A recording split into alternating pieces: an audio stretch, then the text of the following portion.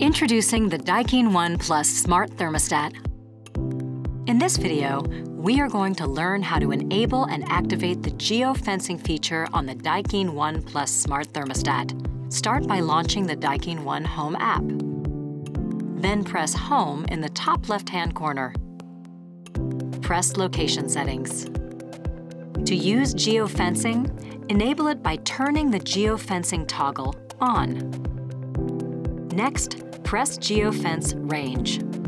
On this screen, you can create the range you need to travel before away mode is enabled. Select and move the blue dot in or out to find your desired range.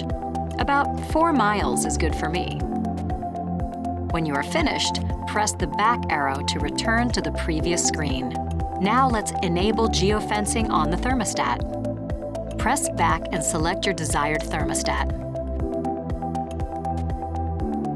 Press the Away icon to enter the Away screen. Now press the menu at the top right corner, press Settings, press Away, and finally, press Use Geofencing.